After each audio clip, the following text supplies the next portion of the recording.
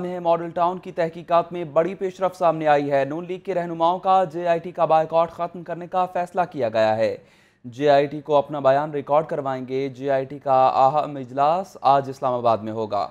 आपको बताएँ कि नून लीग की जानब से सानह मॉडल टाउन की जेआईटी के सामने पेश होने का फैसला कर लिया गया है और अपना बयान रिकॉर्ड करवाएँगे। सानह मॉडल टाउन की तहकीकात में ये बड़ी पेशरफ सामने आई है। नून लीग के रहनुमाओं का जेआईटी का बायकॉट ख़त्म करने का फैसला किया गया है। जेआईटी को अपना बयान रिकॉर्ड करवाएँगे, जबकि जीआईटी का अहम इजलास आज इस्लामाबाद में होगा। आपको अपडेट कर दें कि नून लीग की जानब से ये बयान रिकॉर्ड करवाने का फैसला कर लिया गया है। जेआईटी का अहम इजलास आज इस्लामाबाद में तलब किया गया है।